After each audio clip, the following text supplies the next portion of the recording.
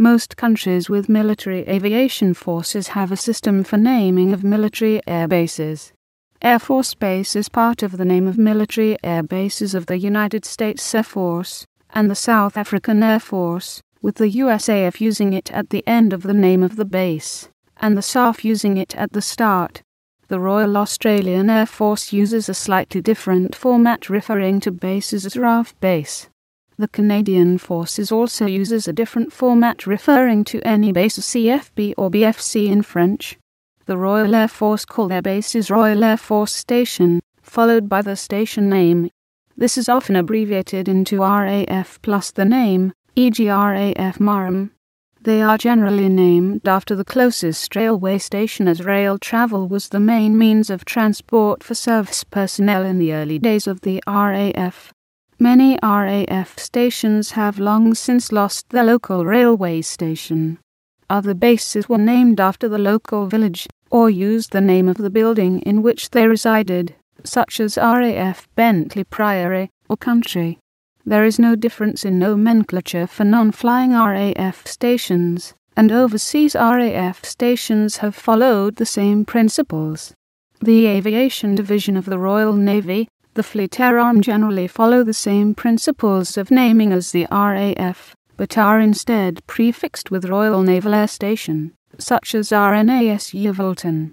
However, in maintaining the maritime link, all Royal Navy air stations are additionally named in the same manner as the Navy's ships. In Yeovilton's instance, it is also called HMS Heron. The British Army Air Corps have previously used the term airfield preceded by the local name, for example Wattisham Airfield.